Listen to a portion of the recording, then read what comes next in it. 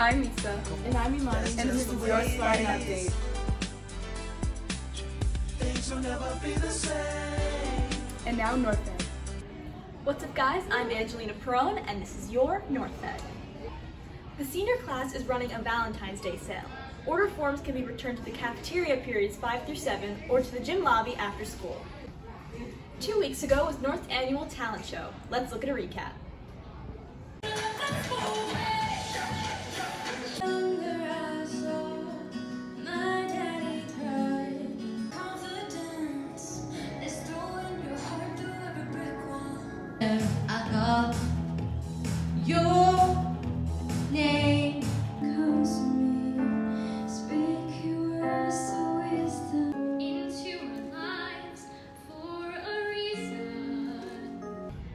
Last night was the Kickline Fashion Show. Great job and congratulations to everybody who participated.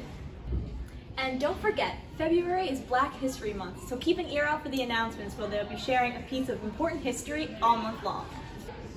Alright guys, I'm Angelina Perone. Have a fantastic break and I'll see you when you come back.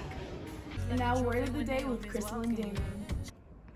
Need a word to wake you up and when you're writing that essay at 12 a.m.? Here's a word that can help you. Now the word, soporific, describes a tendency to induce drowsiness or sleep. Number of drug-related deaths continues to reach new peaks, with 450 rise is driven by the North American opioid overdose crisis, with total overdose deaths in the United States reaching a record of 72,000 people in 2017. Punitive drug law enforcement is fueling mass incarceration and Okay. I'm up. Thanks. Um. Well, I guess that lesson was very soporific for Damon. I'm Crystal. And remember, a dictionary is a book too. And now Spartan Speaks. I'm Aaron Vasquez, and you're watching Spartan Speaks. On this episode, we'll be asking people what's their favorite Super Bowl food. What's your favorite food to eat during the Super Bowl? Lay's potato chips. Buffalo wings and nachos. What is your favorite food to eat during the Super Bowl? Pretzels.